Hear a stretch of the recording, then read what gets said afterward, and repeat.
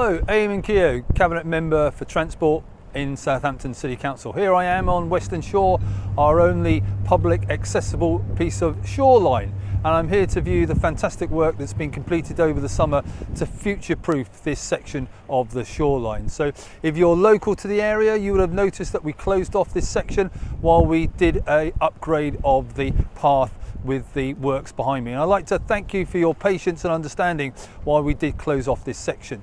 So now we future proofed it you can see the evidence and the benefits that now exist. So this will be, this is a very accessible place for people walking, cycling and enjoying leisure time along the shorelines.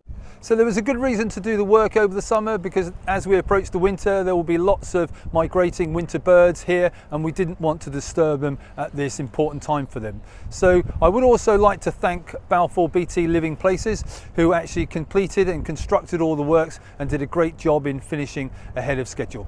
So now the shoreline, the path is now open for public access and I really hope you can come down and enjoy it on a day like today and all those people, you know, will have a great time. Thank you.